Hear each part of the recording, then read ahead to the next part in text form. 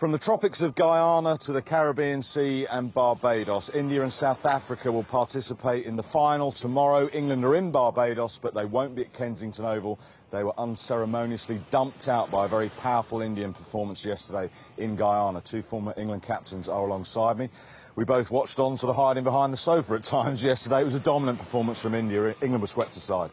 They were in conditions that very much suited the India team. It was a kind of slow, low holding pitch. They're the kind of conditions that England have looked less good on in this tournament, and generally, historically, you would say. Um, whereas India, that's that's them at their absolute best. Their spinners, Axar Patel and Kuldeep, uh, in particular.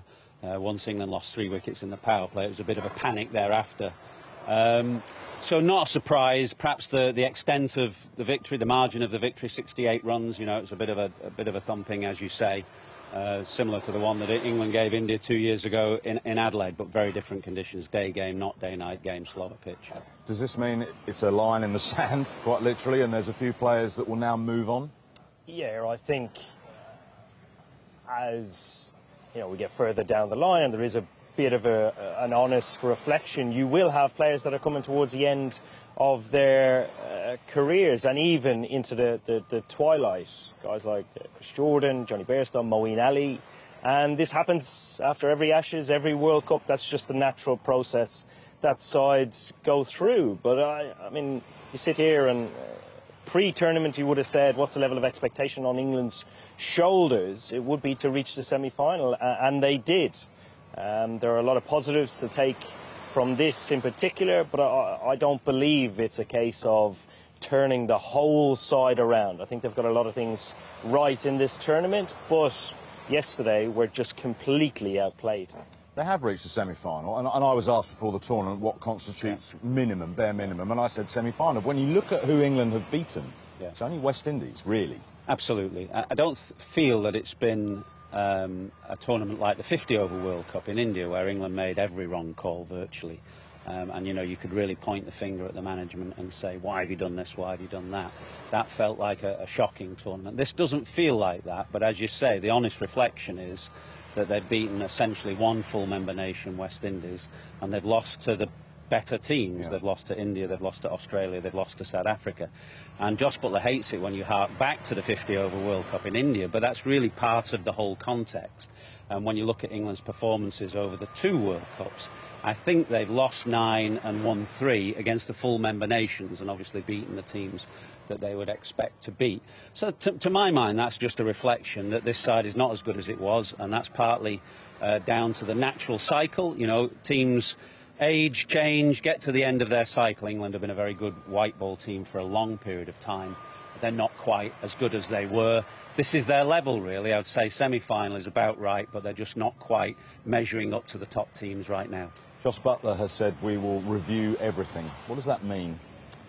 Well, I've certainly been in that position before, and it is, is everything in, uh, from the build into the tournament, the squad that they've selected, to each and every decision, whether it is based on conditions or backing up what they said they're going to do. I think upon review, they will reflect and say, you know what, we've put ourselves in a really, really good position. And there are two elements to this World Cup that stand out that are worth taking into consideration. Yes, there's the one uh, win against a full member nation, which is a little bit disappointing given the expectation on England's shoulders and the quality that they have. But the other is how they've handled the outside elements, the pressures that uh, mounted due to a rain affected game, the extra added pressure of having to deal with net run rate. I thought they handled it brilliantly. And again, going back to the 50 over World Cup, when they came up against challenges like that, they didn't reflect that well. So I would say their decision making process has certainly improved and they will reflect as to why.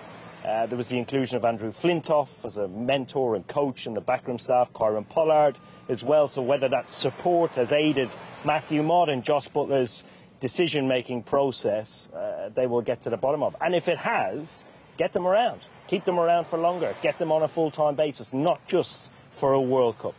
Where does Matthew Mott's future lie, would you say? Well, in the balance, I would say. I, I think uh, Jos Buttler's in a much stronger position just because players uh, are less expendable than coaches. You know, you can, you can go and, and get coaches from anywhere. There's not many Jos Buttlers around. Um, so I'd say he's in a much stronger position as captain. Um, but that said, you know, Matthew Mott's only in, in the halfway through his contract, so two years of a four-year uh, four-year deal, I think, and they'll obviously sit and, re- and reflect. I think the one thing to say is you've got, if you do make a change, you've got to be damn sure you're making a change for the better, and that's not always straightforward. You know, the, the these positions coaching a, a national team now are not quite the plum jobs that they once were. You get a lot of the best candidates who want franchise jobs because it's less uh, impingement on their time, their family time, shorter contracts, that kind of thing. So if they are thinking, you, you, they, they better be damn sure they got a better option. Mm. Um, it's a bit like the Manchester United situation with Erik Ten Hag. You know, you're not quite 100% convinced.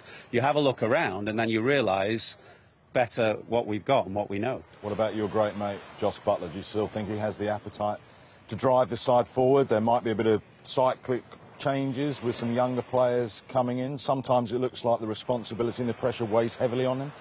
I, I think that's just his natural way of, of dealing with each and every decision and the, the pressures. You see it in his own individual performance at times when he gets fired up. That, that should come out in his captaincy because that's who he is. I, th- I think he should absolutely continue. Next year is the uh, Champions Trophy, the following year is another World Cup, which will absolutely fly in. You know, he's done incredible work with youngsters coming through, the likes of Harry Brook, Phil Salt, have been brilliant in this World Cup. Their second only World Cup. So you invest time, energy, and experience into players like that, and it'll bode you well in, down the line.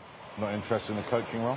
No, not interested in the Breaking coaching role. news, Eoin Morgan has no interest in the coaching role. England will not take part in tomorrow's final. It will be India against South Africa, the two unbeaten sides. Three o'clock, Sky Sports Cricket.